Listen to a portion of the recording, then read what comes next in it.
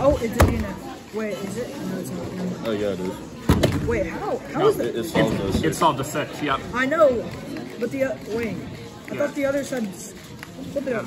Both sides are solved to six o'clock. I know, I saw that, but I thought it would just do corners for the other side. Never mind. Uh,